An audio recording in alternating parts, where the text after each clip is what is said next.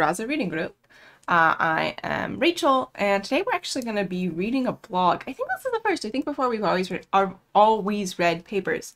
Um, the blog is a blog version of a uh, well, it says right here, uh, a tutorial at ACL 2020. So uh, tutorials are held with ACL conferences, and they are um, like little how-tos or code-alongs. The reading group. Ah, Uh, no, shush. Sorry about that. Uh, I forgot to mute something. Um, I'm trying to remember the last tutorial that I took.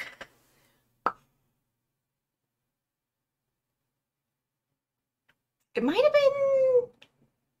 It might have been at NAACL in Austin in like 2016. I think I took a, a computational social science tutorial. Don't quote me on that. Hi. Fair warning, I am not at full capacity today, I think I would say. Uh, also just, you know, like haven't been in a while. I don't think I'm alone in that. Uh, so let's get reading. Uh, the tutorial, the blog post is Common Sense Reasoning for Natural Language Processing. Uh, and sorry, I do know it's a little bit small on the screen. I can't make it bigger, unfortunately. Um, but please feel free to follow the link in the uh, uh, in the YouTube video description if you would like to see it a little bit bigger, and I will post it in Twitch as well. There you go. That's what we're reading. This long overdue blog post is based on the Common Sense tutorial ta- taught by Maarten Sap, Antoine Bosselut, Yejin Choi, Dan Roth, and myself at ACL 2020. Credit for much of the content goes to the co-instructors, but any errors are mine. Also, I think I said yesterday that Hal Daumé was one of the workshop presenters. It definitely wasn't. I was definitely um, incorrect about that. I'm gonna turn that level down a little bit, a little bit peaky. In the last five years, oh, and uh, Vered is at um, the Allen Institute for Artificial Intelligence. I'm pretty sure that's where she is right now. Uh, let me just like double double check her her Twitter to make sure I'm not saying wrong things. Yeah, she's at Allen AI, um, and also uh, University of Washington, which is where I did my PhD. In the last five years, popular media has made it seem that AI is nearly, if not already, solved by deep learning. Uh, and I'm sure y'all have seen some of those various articles. The release of Google Translate's neural models in 2016 reported large performance improvements. Uh, 60% reduction in translation errors on several popular language pairs. So that'll be the um, the transformer paper. Attention is all you need. Wait, 2016? No, that's a 2017 paper. Do a little, little mouse over. What is this? arXiv.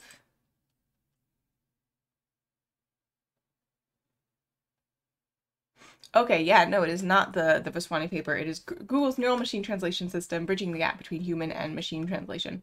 I don't think I actually have read this. So, uh, 2016 paper. Uh, by looking under the hood, these numbers seem to be misleading.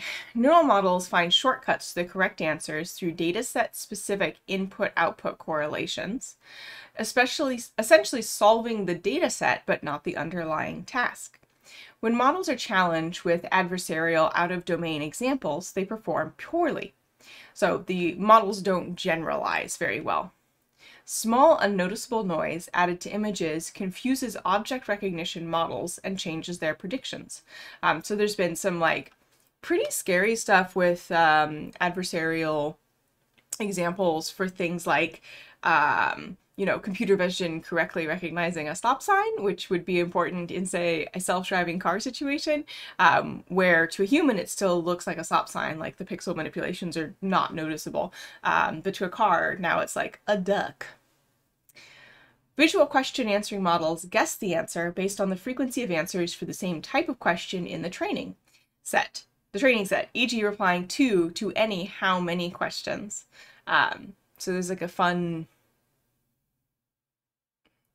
I don't know that they're really an experiment, but you will you ask like any question answering set. Um, hi, Boyan of Holly, welcome to the stream. Uh, but there's a fun set of experiments, which I think is probably actually uh, this one, where if you ask any question answering system, how many giraffes are there in the uh, in the picture, you will get a number even if there are no giraffes, and I think that's that paper. Image captioning models often learn to recognize objects based solely on their typical environment and fail to recognize them outside of their typical environment. In NLP, dialogue systems generate highly generic responses such as I don't know, even for simple questions. Yeah, that is definitely a, um, uh, a challenge in the field. Open-ended generation is prone to repetition. Question answering systems are easily distracted by the addition of an unrelated sentence to the passage and more. Um, so basically, this is pulling together a bunch of different pieces of you know, research and system evaluation showing that uh, deep learning models um, understand is probably a poor word here, um, but deep learning models are really good at capturing the patterns in the specific data set that they were trained on, not so great at extrapolating to new things in a way that, you know, a biological learner probably would pretty well. Although that said, uh, dogs I, I have a dog. We've been working on a lot of training recently. Um, dogs don't adapt well to new contexts. So there's that aside. Hello, Jacques. I hope you're having a nice morning in Kenya. Actually, that would be evening. Hope you're having a nice evening in Kenya. All right, uh, so a little example here of some adversarial scrolling. There we go. Some adversarial uh, examples in computer vision and natural language processing. Um, so here in object recognition, you have uh, a picture of a giant panda and then this sort of pixel mask. And the object recognizer no longer recognizes this giant panda visually to human looks like a giant panda. To uh, the um, deep learning system, it now looks like a gibbon, which is a type of monkey. Ape? I think gibbons are apes. I think it's a it's an ape. Anyway, not a panda. Uh, dialogue systems, how are you? Responding, I don't know. Uh, visual question answering, how many zebras are in the image? So here it's saying two, even though there are, to my eye, seven zebras in this image. This may or may not be a zebra. It's a little hard to tell, it's a bit grainy. Uh, and then for open-ended generation, getting, I don't know, I don't know, I don't know, I don't know. Um, and if you've ever played with, um, you know, uh, neural generation, uh, models, this is really, really common. You'll just get like repetitions of little snippets of text. Uh, and then image captioning, this says a horse standing in the grass, which is not the case. That is an alligator. I think that's an American alligator. Uh, and question answering, uh, Nikola Tesla moved to Prague in 1880. Uh, Tadakatsu moved to Chicago in 1881, where did Tesla move in 1880? And the system has been uh, fooled by this additional piece of information that is irrelevant to the question to say Chicago rather than Prague. Scroll. Scroll. Eh. There we go. Okay. Machine learning models today perform reasonably well on perception tasks, image and speech recognition. However, they mostly lack the ability to perform simple, intuitive, common sense inferences that humans do in every minute of their waking hours regarding pre and post conditions of events, understanding other people's motivations and intents, mental and emotional states, etc. So, at this point uh, in the blog post, uh, neural networks really interesting, do a lot of cool things. You can see gains with them in specific tasks, but um, they don't do tasks in the way you would expect a human to, and they don't seem to have, you know, it, it would be uh, misleading to say that there's an understanding there, right? What is common sense? The boundaries of common sense are quite challenging to define, but we will go with this working definition. Common sense is the basic level of practical knowledge and reasoning concerning everyday situations and events that are commonly shared among most people. For example, it is common sense that it's okay to keep a closet door open, but not the fridge door, as the food inside might go bad. So, um, in order to know that, you need to know, right, that um, these are both doors, um, and even though they serve the same sort of general function, providing separation between two spaces where that separation is removable, um, they serve different different practical functions and that a closet and a fridge are different things even though you know um, they may look visually very similar.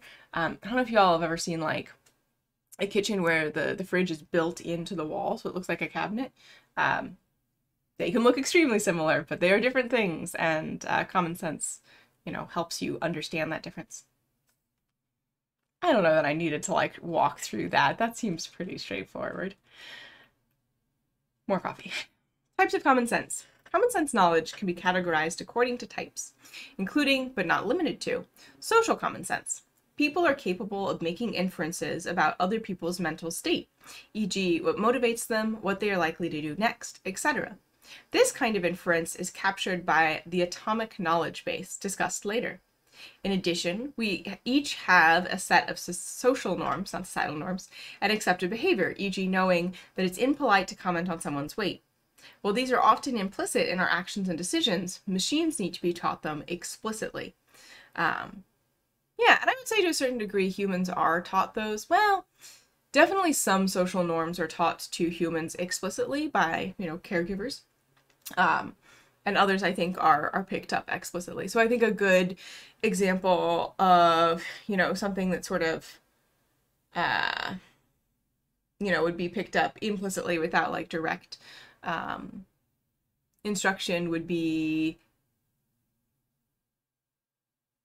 uh, if you're going to a new activity, right, you're going to go hang out with some people you haven't hung out with before.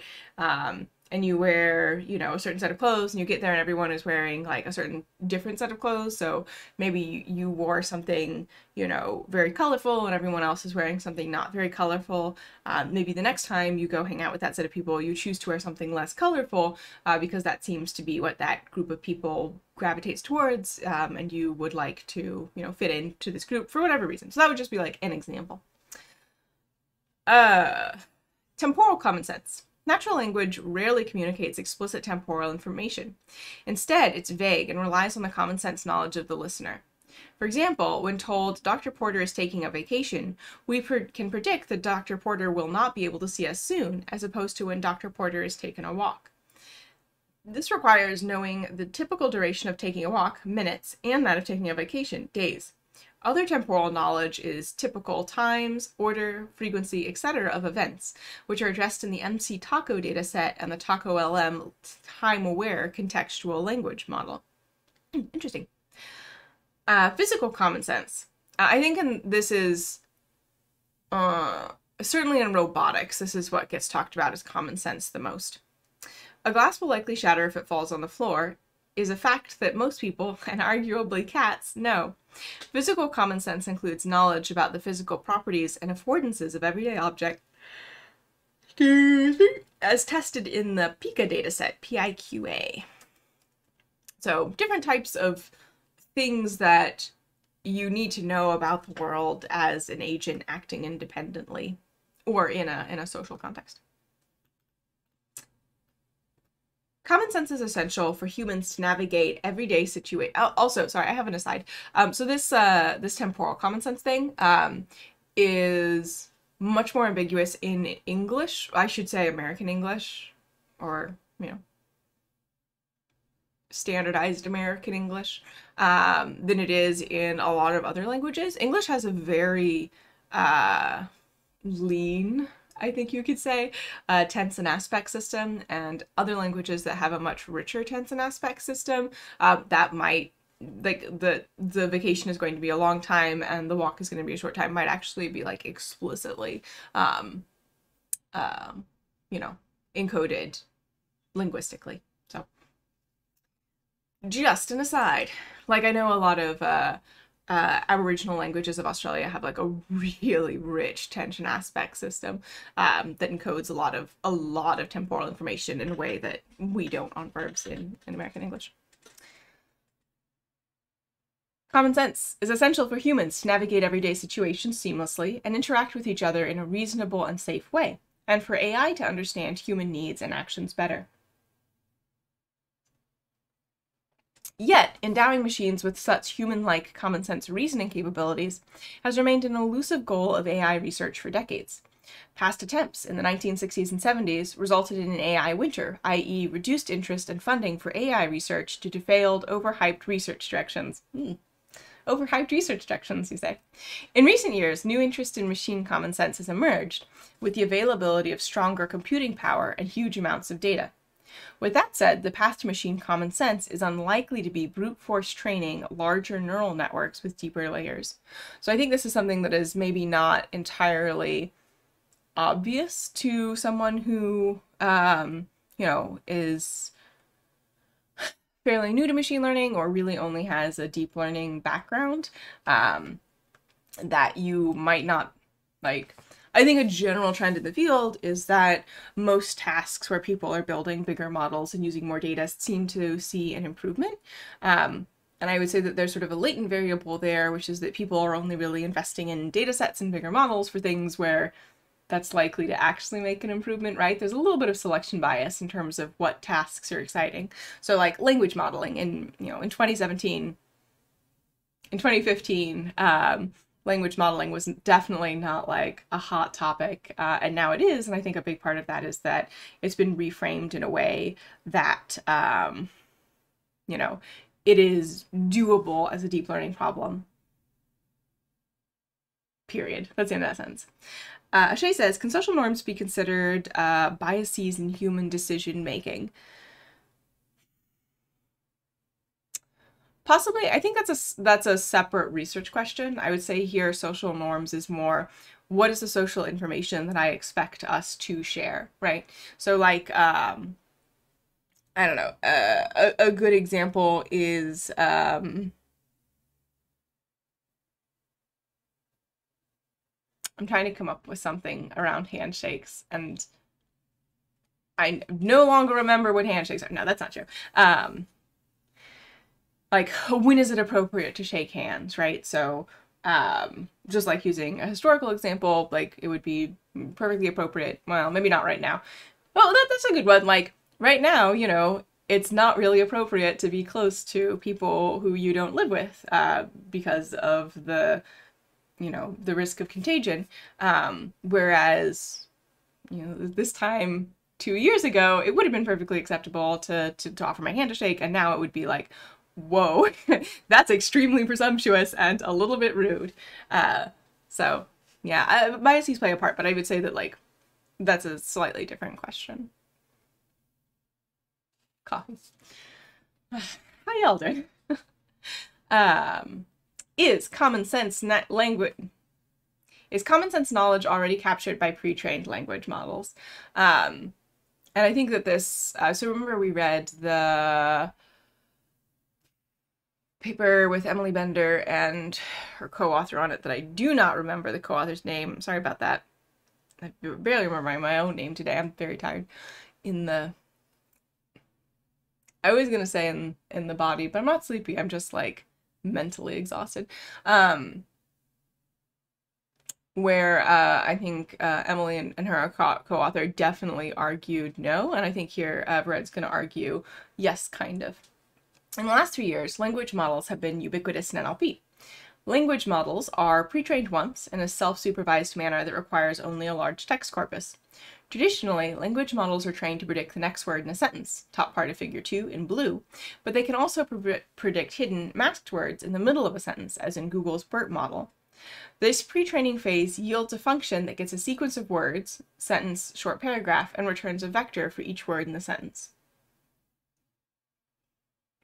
So with the example here, um, the language model for pre-training, parrots, parrots are among the most intelligent birds, and the ability of some species to imitate human speech enhances their popularity as blank, and then the blank should be filled in with pets. And then a masked, so uh, traditionally language models predict the next word, masked language models predict the middle word, a word in the middle. So masked language models, parrots are among the most intelligent, blank, here to be filled in with birds, and the ability of some species to imitate human speech enhances their popularity as pets. And then the fine tuning, once they've been pre-trained, um, input, you have a pre-trained language model, a classifier, an output. Uh, the loss is used to update the pre-trained language model. Um, and also like the, the label. So like you look at a label, you see if it's right, and if it's not, you change the model. As opposed to word embedding, beddings, which are static, language-based model word language model-based word vectors are dynamic and recomputed for each context. At the very basic level, they assign different vectors to words when they are used in different senses, as in figure 3. Sense is the technical term here. I'm using both the keyboard and mouse. The cat chased away the mouse. So one is, you know, this. The other one is um, an animal. Static. Uh, I am so here you can see that the vectors are different, uh, and here the vectors are the same. So I'm using both the keyboard and the mouse, and a cat chased away the mouse. Do off-the-shelf pre-trained language models already capture common sense knowledge? point in the yes column, they are capable to some extent of filling incomplete common sense facts or ranking candidate facts. For example, the language model score approximate statement plausibility of a fact like a musician plays a musical instrument is higher than a dancer plays a musical instrument.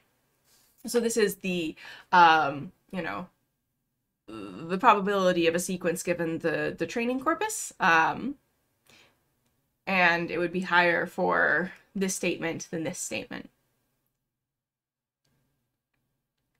Uh, Arshad says, don't use this UI. The paper window looks too small and the UI takes most of the space.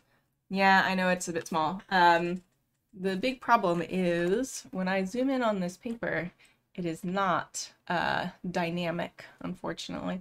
Uh, but the link to the paper is in um, the YouTube video link if you would like to, to scroll along.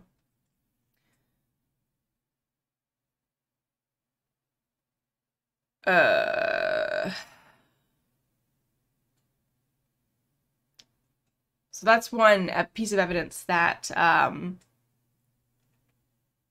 language models model co-occurrence, um, which can capture some evidence, can capture some things that correlate with facts. They can, to some extent, associate concepts with their properties. They distinguish concepts associated with a given set of properties, i.e. complete a statement such as a blank has fur, is big, has claws, has teeth, is an animal, with bear, just like playing the 20 question game. They perform better when they are shown encyclopedic properties, e.g. is an animal, as opposed to perceptual properties, smooth. Um, I was gonna like be like, uh, so one of these things is more likely to be written down than the other. Um, and I was be like, bears are smooth, but people don't talk about it. Bears aren't smooth. They're like, I don't know. I've never touched a bear, and I hope never to. But looking at them, they don't look smooth. Uh, they can also pretty successfully list the properties associated with given concepts, e.g. complete a sentence. Everyone knows that a bear has blank, furs, claws, and teeth. So again, these are probabilistic models of sequences uh, of tokens, in this case words. Well, actually, if this is BERT, not words. Uh, BERT uses um, word piece tokens. Um, where was I in the paper? Um, so yes, by doing the job that language models do, they can to some extent capture pieces of information or reflect pieces of information that were shown in the original training data. However, language models, knowledge generated from language models is noisy. Several papers have shown that language models are not sensitive to negation. i.e., they consider the negated version of facts. Birds can't fly as similarly possible. So I was saying that it's equally likely that birds can't fly and birds can fly, and while some birds don't or cannot fly, the majority of birds are, you know, I would say for most people, exemplified by their ability to fly. Uh, and they're sensitive to phrasing. So sentence, the sky is blank today, as opposed to today the sky is blank. Um, so for this first example, the top prediction is blue, and for this other example, the top prediction is clear. Um, and well, uh, both are, I think, you know, fairly reasonable. The fact that simply, um, you know, an equivalent syntactic, sorry, an semantically equivalent um, input with a different syntactic structure changes the output, which is good evidence that they are not capturing, you know, the most likely state of affairs for the sky, right? in distributional word, sorry, so in theory, syntax and semantics should be separate, right? So the mostly separate. So the structure of um, a piece of language output should be independent from its meaning you know with, with, with some differences like negation. So i should be able to like you know take the the syntactic skeleton of a of a sentence and uh, plop it down with you know different different words to give it different meanings and it still should share the same structure. And the fact that these are sensitive to structure um, in a way that changes the output even though the two things should be like meaning equivalent um, is not what you want from a knowledge system in distributional word vectors, the vector representation, a subword, is learned from the context in which it appeared, leading to similar representations for semantically similar words. In language models, the representation of similar contexts is similar, so the model learns which type of word it should appear should appear next, or instead of a mass token. This is generally a positive thing, but sometimes it overgeneralizes. Um, so uh, in vector space, words with similar usage occur next to each other. Sometimes this correlates with meaning. Um, and uh, this overgeneralization, and this is used to overgeneralize, overgeneralize from a category to a specific example that is not super correct, I would say. So in this example, the color of the dove was blank. Uh, the top predictions are red, different, golden, black, and blue. Uh, doves are usually gray or white. Um, I'm sure they come in different colors. I think there's like some tropical doves that are like iridescent blue. Um, but red is not a very canonical color for doves. Is there a red dove? Maybe. Would I say that, you know, it's the most common color for doves? No. Here, BERT has seen in its uh, training corpus enough sentences of the type the color of something is color to know, uh, to note, so this is something from the class color, to know to suggest different colors as substitutes for the masked words. Unfortunately, not every color is suitable in every context that calls for color. BERT likely didn't see enough sentences discussing the color of a dove, thus it just defaults to predicting any color. So this is not knowledge, this is like SAT uh, prep strategies, basically, guessing because you don't know. Uh, so knowledge in language models is not the most accurate and reliable. Is it still useful? Yes, to some extent. One way to show it is through evaluation on tasks requiring common sense knowledge. We will discuss several such tasks, but for now let's focus on the Winograd as an example. Grand. WinoGrande. In the large-scale version, it is the large-scale version of the Winograd schema challenge, or schema challenge.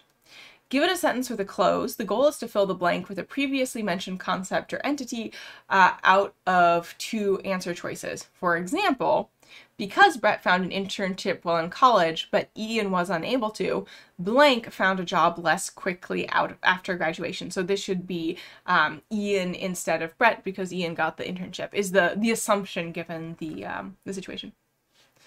Um, a cloze is a blank. So um, the the the mask task that BERT does is also known as a cloze tasks. C-L-O-Z-E, that is not a typo. Uh, should I keep phrasing the same for any specific question, as that might not be possible for large data sets? What are your thoughts on this? Um, I mean, I guess it depends on your your context. I would say if you're doing something like a dialogue agent, uh, specifically with Rasa, um, you should provide as many examples with different phrasing as possible in your training data so that the assistant is more able to handle those sort of general um, things. Um, yes, so I would say in general, diversity in phrasing is good, uh, particularly if you have uh, a language with a less fixed syntactic order than English, which is like honestly most of them. English is there's sort of like a uh, a gradient of we keep grammatical information in like little word pieces that we stick onto things and we keep grammatical information in the order that things are in. English is very, very much on the, the order side of that scale. Um, most languages are more on the, you know, order is pretty important, but we use a lot of little language pieces, or like order, meh, we mostly use little language pieces. Um, so like Russian, word order is like very unimportant and um, syntactic, not, sorry, morphological structure, like little word pieces are much more important. Um, yeah. Uh, Shay says this might call to questions to be similar between two or more intents. So uh, I think a, a good rule of thumb is, uh, for me, is if there's a lot of overlap in tokens between two intents um, and they're not function words. This is a little bit of a, a little bit of a tangent, but I think it's a good question. Um, so function words are you know, things like in, um, of, and the things that are in English likely to occur in sort of any set of sentences and are very common in the language overall. If you have a lot of those that overlap between two categories, don't worry about it. Um, if you have uh, a lot of rare words that overlap between categories. For example, you know, you have two intents and you're placing an order for different things. Those should probably be one intent. Um, and I have a video that'll be coming about this when it's done. Hopefully Monday. That's my plan. Um, yeah, so that's my my general um, guidance there. Um, yes, so yes, definitely rephrasing. And if rephrasing starts to make two intents very, very similar, um, then I think that they're probably maybe too similar and it might be worthwhile to combine them. And then um, if you need to tell them apart, like the thing that you're ordering, use entity extraction or slots for that instead would be my recommendation. Hopefully that helps. Choo-choo. Uh, what makes this task, the, the Winograd task, exceptionally difficult is that for every instance, is that every instance has a twin sentence, which is minimally changed, such the correct answer is the other one. For instance, replacing less quickly with more quickly will change the correct answer from Ian to Brett. Language-based models top the leaderboard of language model based models top the leaderboards of WinoGrande and other common sense tasks, but since they are trained on task specific training data, which often contains tens or hundreds of thousands of training examples, it's hard to attribute the success to the knowledge captured in language models from the pre training step. A better way to estimate it is with zero shot unsupervised models. Uh, the um, GPT-3 paper is all about zero shot. Typically, the way zero-shot models address multiple choice tasks is by phrasing the statement from the instance and each answer choice and computing the language model score as a proxy for plausibility, so the probability of the whole sequence for each of the answers. Uh, thanks. You're welcome. Um, I hope that helped. And then predicting the answer choice with the best language model score, highest probability, which is usually computed, computed as the lowest perplexity, uh, which is an information theoretic measure that if you're not comparing language models, you probably don't need to know about. In our recent EMNLP paper, we take it one step further and ask whether we can use language models to generate what would otherwise be missing or implicit knowledge needed for solving a multiple choice common sense answering instance. We propose the unsupervised self-talk framework that uses language models to generate information-seeking questions such as, what is the definition of blah blah blah, and their corresponding answers, clarifications, to discover additional background knowledge. In the example in figure 5, knowing that internship experience might help a person get a job is crucial for answering the question, which of Brett and Ian found a job less quickly? On most benchmarks, the self-talk model performed better than unsupervised models with no additional knowledge, while competing with models that have access to knowledge bases. Um, those are formalized uh, data sets. Those are formal data sets where the relationship between words and their you know meanings is um, annotated by hand, basically. Uh, this is despite WordNet. What I call WordNet a knowledge base? Yes, maybe. I would look at their docs and see if they call themselves a knowledge base. Oh no, my mouse.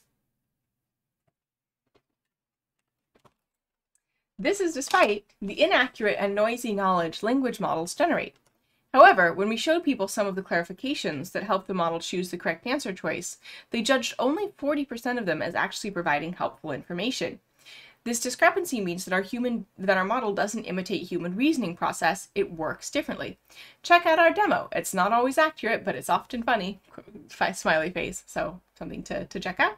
Um, so what they're saying, this makes sense to me because uh, by including additional information in your prompt, um, you are likely to get sort of an area of the, the language model vector space that is closer to the specific thing that you're looking at. Um, so it makes sense to me that that would help. Um, it is also not surprising to me that it is not reasoning in a human-like way. Which again is not, like, I think a fundamental flaw of these models. That's not what they're designed for. So here is the figure. Scroll on in. Scroll, scroll, scroll. Uh, question generation. Because Brett found an internship while in college, but Ian was unable to, blank found a job less quickly after graduation. Um, and then there's a little prefix. What is the purpose of blank? The purpose of blank is. Um, so this is what they're asking the language model to generate. Um, so they're filling in what is the purpose of the internship? Uh, the purpose of the internship is help people find jobs. Um, so this is an example of the clarification and then filling in the uh, the sentence was more or answering the question uh, was more successful. The best performance on common sense tasks is achieved by fine-tuning language models, i.e. training them on task-specific data. Let's look at some of the benchmarks and issues we faced with supervised learning. How to measure common sense reasoning capabilities. Coffee. Multiple common sense benchmarks have been released over the last few years. Some of them will be discussed here. See examples in Figure 6, along with the main differences and design choices when creating a benchmark. So these are different, um, usually a benchmark will include both a data set and a specific task that you're supposed to do with that data set. Um, and the examples here are COPA, choice of possible alternatives. Uh, context, the man broke his toe. Question, what was the cause? And the choices are he got a hole in his sock, not the correct answer, and he dropped a hammer on his foot, the correct answer. Common sense QA, where on a river could you hold a cup upright to catch water on a sunny day? Choices, waterfall, bridge, valley, pebble, and mountain? And the answer is waterfall. And I think the reason they say sunny day here is so that it's not um, implied that it is raining, or you cannot infer that it might be raining.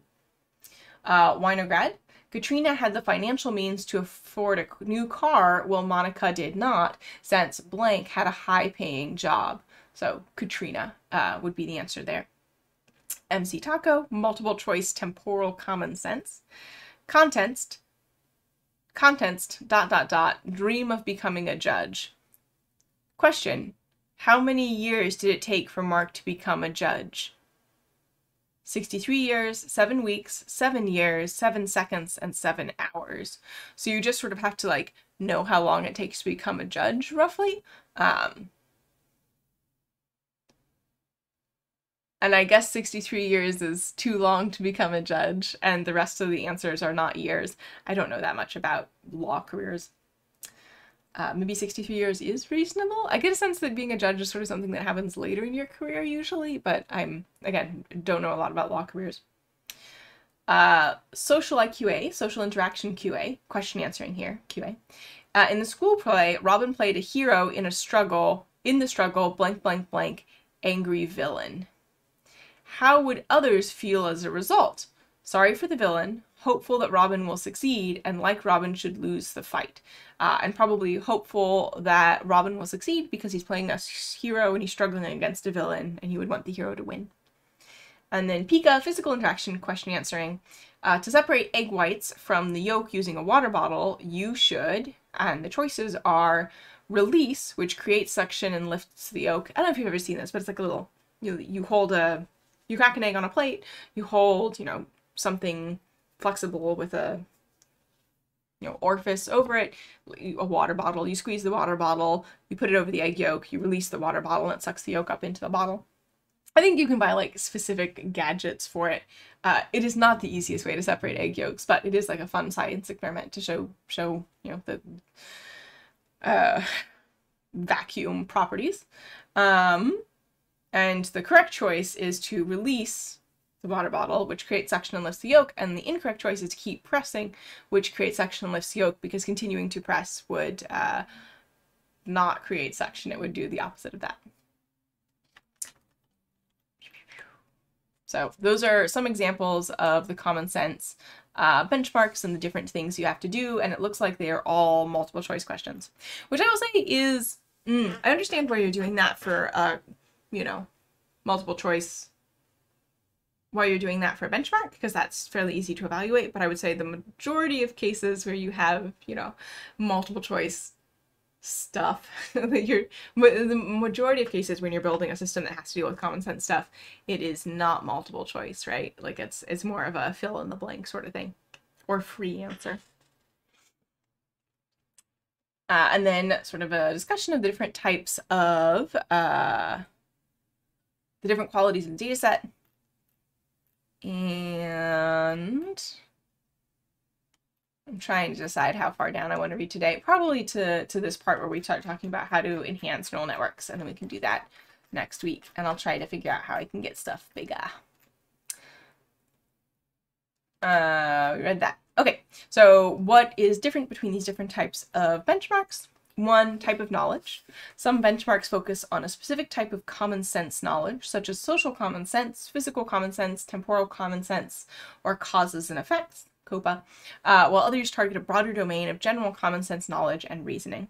Um, so how much your model needs to know, and uh, I don't know. I don't like to talk about models knowing things. Um, it's just I think it's a little it's very tempting to draw parallels between a system that does something that humans do and humans doing that same task um, but I think that that is a little bit of a dangerous rabbit hole to fall down because it will give you unrealistic expectations of the behavior of that system.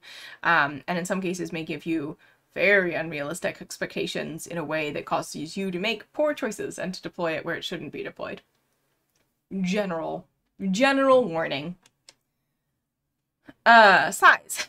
Most recent datasets include a large training set in order to facilitate training large neural models little bit unrealistic. Sometimes you have it, usually you don't. One way to create a benchmark is to hire experts to curate a high quality data set, such as for uh, WSC, the Wino Guide Corpus, and COPA. These data sets are rather expensive to collect, understatement, and are therefore typically small. The common alternative is to create data through crowdsourcing or semi-automatically, and split it randomly to train validation and test sets. Models that learn data-specific shortcuts in the training set instead of generalized phenomena are likely to perform well on a test set drawn from the same distribution, but this performance is misleading and is likely a lot better than on real-world instances of the task, so it's overfit to the, you know, the distribution of the training data. Despite this understanding, this is still the dominant approach. Um, and I would say crowdsourcing also has some other pretty big drawbacks.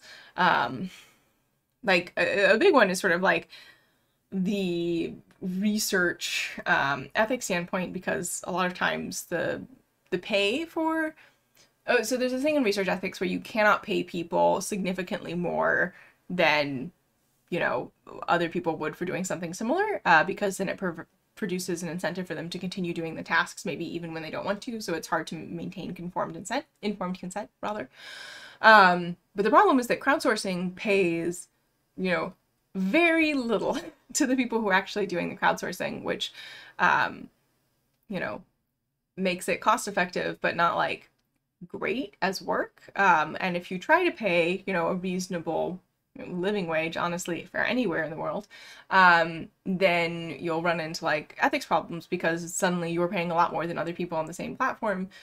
Uh, so you can't really pay people like a reasonable amount to do this this task, like as much as you would pay like undergrads you got to come into a lab and, and do the same thing.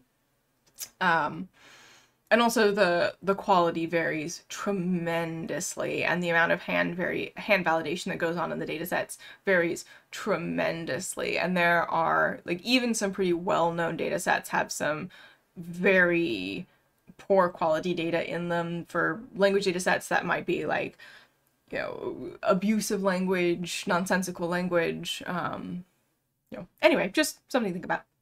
Uh, Ashay says, do some benchmarks include answering uh, multiple MCQ for passage questions? How do the models perform on that? Yeah, actually, I think um, there's some data sets out of um, AllenAI for that.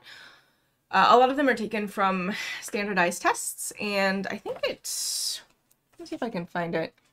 Uh, AllenAI I'm trying to remember what the specific benchmark I'm thinking of. Um, think it's like the middle school science benchmark.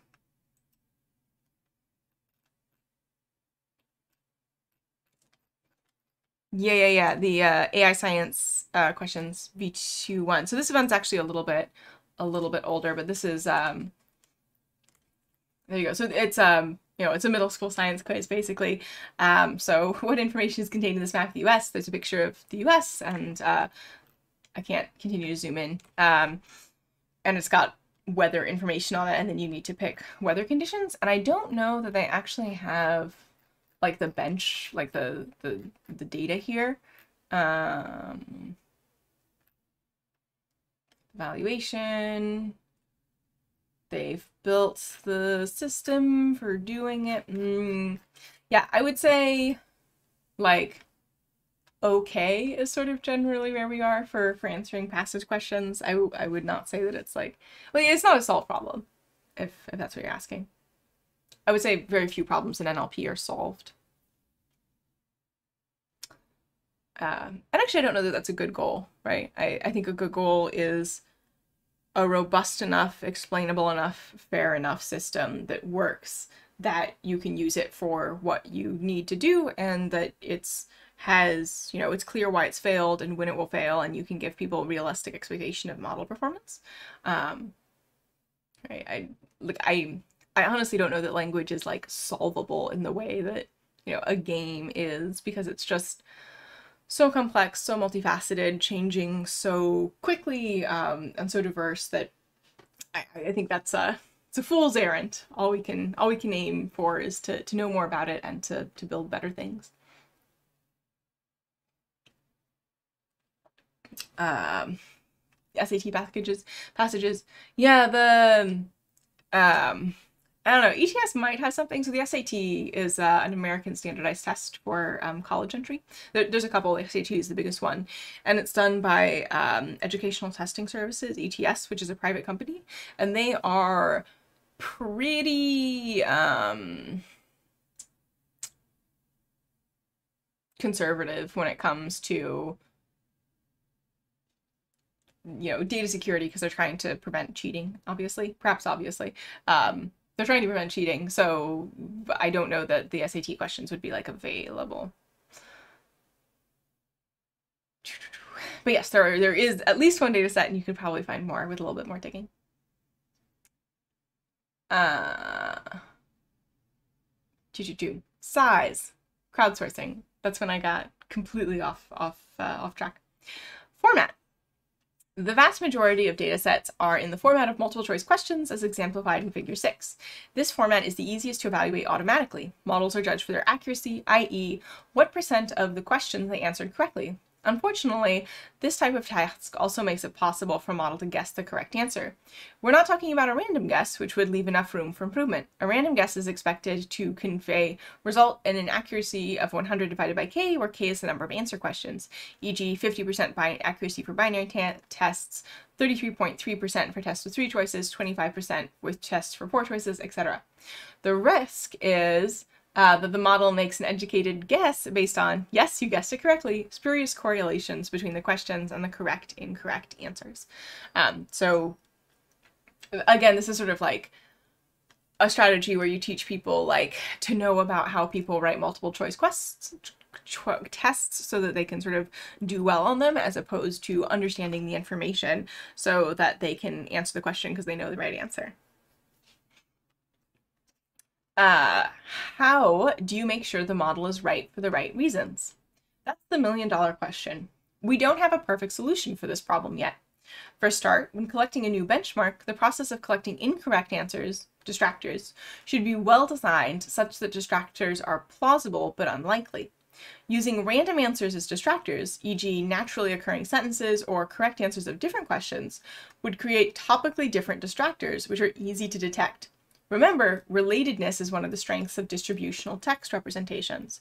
So if your question is about like amphibians and one of the answers is about amphibians and the rest are about reptiles, mm, it'll probably be fairly easy for the uh, like just like a word vector approach to do pretty well. Asking people to come up with the distractors may introduce other annotation artifacts, such as exaggerating, going off topic, or producing overly emotional texts, which are easy for models to detect. Some solutions have been proposed. For example, the distractors in the social IQA are answers for different questions asked in the same context. In figure 7, the context, Alex spilt food all over the floor and it made a huge mess, appears in the dataset with two questions, what happens next and what happened before. The distractors of what happens next are the correct answers of what happened before, e.g. that Alex had slippery hands. A similar approach is taken in CommonsenseQA. Um, so here, zoom in. Uh, the original question, Alex spilt food all over the floor and it made a huge mess. What happens next? What will Alex want to do next? Correct answers, mop it up, give up, and order takeout. Incorrect answers, have slippery hands, get ready to eat. These are the things that happened before and not what happened next. An alternative solution is to figure out easy questions through adversarial filtering, i.e. training a weaker model and iteratively removing instances that it succeeds in answering. Variants of adversarial filtering were applied to WinoGrande and PIQA. Finally, I believe the future is in generative tasks, in which the model needs to produce a free text answer without being provided with the candidate answers, which I think is very reasonable. And that's um, I don't know, when I was teaching um, linguistics, I uh, preferred like really short essay questions. Like I'd have students do like low stakes free writing to sort of assess their understanding. And I think like that works much better for a teacher to understand where students are than a multiple choice quest question, but obviously does not scale. Um, so I think that this is a really, uh, really cool way of approaching the problem that I think makes sense given the sort of drift in the field towards more and more generative models. Several recent, recent benchmarks are generative, such as time travel, counterfactual reasoning, art, uh, abductive reasoning. I don't know what abductive reasoning is. Let me look it up. Uh, counterfactual reasoning is um, factual would be like, this is what is. Counterfactual would be like, if it were not thus, then what? Abductive. It's reasoning that moves away from the sagittal plane. Sorry, that's abduction. Uh, that's not the answer I found when I looked it up. I'm just... Uh... Pop up ye olde Wikipedia. Uh, abductive reasoning is a form of logical inference uh, blah, blah, blah, blah. It starts with an observation or set of observations and then seeks to find the simplest and most likely conclusion from the observations. This process, unlike deductive reasoning, yields a plausible conclusion but does not positively verify it. Okay, so that's sort of like um, uh, there's uh, you know some like cognitive um, assessment tests where like you're shown a, a, picture of a situation and like what happens next. Um, I think are used for like dementia, maybe I don't know. I we briefly talked about them in a class where we talked about psychology a little bit, and that's where I am on those, but I know they exist uh, CommonGen, and ProtoQA. The challenges in generative tasks is the lack of reliable automatic evaluation metrics. Yeah, that is the problem. Um, evaluating text generation in general is very difficult. Given the gold standard reference answers, we would like a metric to 1. Reward correctly generated answers that are different from the reference answer, so you can't use something like BLEU, which I, I know somebody out there was like, oh, what about BLEU? Uh, well, 2. Penalizing incorrect answers that are similar, e.g. lexically, to the reference. Again, BLEU will not work for this because that is a measure of overlap. Human evaluation is reliable, but it is costly and is typically done once on the test set. In order to be able to provide, so you can't do like, um, um, you can't like use the loss to update your model without having some sort of human in the loop. In order to be able to improve models during development, we need automatic metrics. I mean, you can use human uh, evaluation, but it is way slower.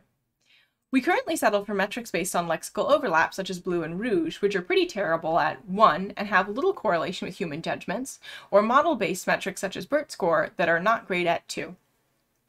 Um, so having penalizing uh, things that are factually incorrect but lexically similar. So um, one of the sort of big dangers of these large language models is that they will generate plausible fluent text that is just straight up factually incorrect. Um, and that's okay in some contexts, but definitely not in a context where you you want true things to be said. All right. How to, I'm going to see. Yeah, I think we can get through this last section. My voice is going a little bit, but I think we got it. How to gather and represent machine readable common sense knowledge. Common sense resources provide machine readable knowledge about the world. Resources are expected to be large scale and accurate, consist of diverse knowledge types, and be usable in downstream tasks. ConceptNet is a large, 21 million assertions commonly used resource consisting of general common sense knowledge in over 85 languages. Atomic. Hmm. Atomic consists of 880,000 triplets reasoning about causes and effects of everyday solutions situations. Other resources are listed in Figure 8. Um, so these are uh, different resources uh, in in different research lines. So this CYC, I don't know how that would be said, psych, I guess, uh, like cycle, um, has several iterations, uh, Open Mind Common Sense, and then ConceptNet, which is the one I think I have heard about before, NELL, WebChild, and then Atomic. Uh, representation. How is knowledge represented in the resource? ConceptNet and Atomic represent knowledge in natural language, figure 9, while NELL and Cyc, I guess, represent knowledge in symbolic logic, here is the, the symbolic logic. So implies and is a object subset uh, generalizes, I guess, uh, superset subset, and then is a object subset. So this is uh, an annotation for for symbolic logic. Man, it's been a while since I actually it hasn't been that long since I, I used symbolic logic, but it's been a while since it was the main thing I was doing it was never the main thing I was doing. I did take, uh, I did do some stuff with it in grad school. So, example, knowledge extracted from ConceptNet and Atomic, uh, from, from Maarten Sap. Uh, so Tony's grandma was reading a new book when she dropped her glasses. So reading is a type of relaxing. It's a type of ed, uh, app activity. Glasses are used for reading. Glasses are a type of corrective lens, and glasses are capable of improving one's vision. So using this, you can tell uh, perhaps that uh, she will no longer be able to read her book. She couldn't pick them up, so she yelled for Tom to help. Uh, help is used for people. So all of this yellow here is for ConceptNet, and then the green here is for Atomic. Uh, Tom rushed to help her, look for them, then heard a loud crack. Then Tom realized they realized that Tom broke her glasses by stepping on them. Promptly, his grandma yelled at Tom to get her new pair. So uh, she called Tom for help. Tom rushed to help her. Why will? Uh, they heard a loud crack. X feels nervous. X here being both of them, I guess. Or maybe the grandma. So there's an X and a Y, and I think those each correspond to one of the people. Uh, they realize that Tom broke her glasses by stepping on them. Tom broke her glasses. Tom will want to get her a new pair. His grandma yelled at Tom. X wanted, his grandma wanted to express anger. So there's, sort of um, relationships between um, pieces of text and, and what's happening. And the concept that is this relationship of um, things and their their properties. Uh, is ConceptNet the Berkeley one? I think ConceptNet is the Berkeley one. ConceptNet consists of semantic knowledge, i.e. properties of concepts, e.g. reading as a type of activity. Atomic, on the other hand, is inferential, given a templated events with person X representing the subject and person Y and optional objects, e.g. person X yells at person Y. Oh, I should have read this first. That's much clearer. I thought that these were variables assigned to individuals, but instead it's a subject-object thing, which is about uh, position in the sentence and um, relationship to the conjunction of the verb. Uh, and one of the nine predefined relation dimensions, e.g. person X's motivation, it provides a second event, e.g. person X wanted to express anger. Collection method. Knowledge can be collected from humans, either experts or crowdsourcing workers. Expert curated resources are more uniform and accurate and may use complex representations, but is it is an expensive collection method and is very time consuming. Alternatively, non-experts can write knowledge in natural language, making the collection faster and more scalable. but harder to avoid these, uh, these spurious correlations. The alternative approach is to extract knowledge automatically from text, as in NELL. This approach works, but produces less accurate knowledge. In addition, the approach suffers from reporting bias, over-representing the rare at the expense of the trivial. So this is the, the black swan problem. For example, people are reported to murder more often than they are reported to breathe, even though breathing happens more often. Default properties of concepts, yellow banana, are mentioned less often than their alternatives, green banana, etc. So the black swan problem is that um, there are more discussions of black swans than white swans, even though white swans are more common because humans tend to talk about things that are rare and not talk about things that are, you know, super uh, co common. All right, let's call it there. I am, I think I've used about as much brain as I have right now. Uh, so just a quick recap, recap to where we have gotten so far. Um, are we there with common sense? No.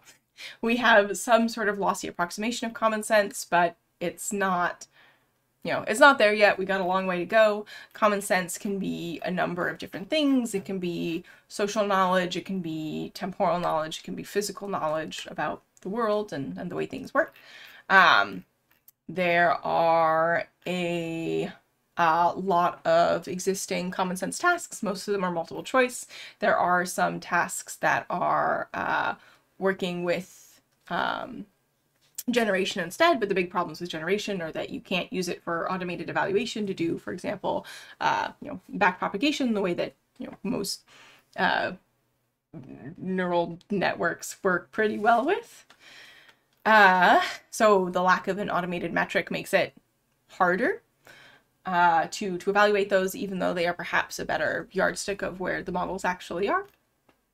And uh, gathering and representing common sense knowledge in a machine readable way is um, hard. You can either do it solely with experts and have high quality annotations that are hard, or you can do it much faster with crowdsourcing in a way that is um, you know, less high quality, uh, or you can try to extract information from text, knowledge from text, which is again very difficult um, and has, you know, lots of problems as we just mentioned.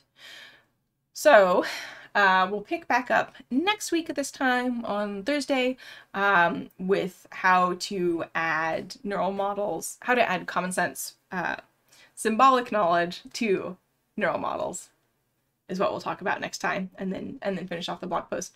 Um, I think it's it's a little bit of a definitely a high level, a little bit of a, a, whirlwind through the the research, but hopefully helpful for folks. Um, and definitely, I think uh, I have enjoyed reading it, even though I am tired.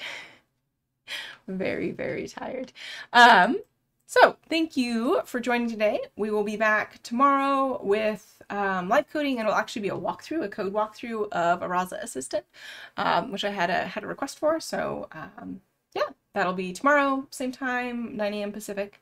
Um, I will see you then and have a great day.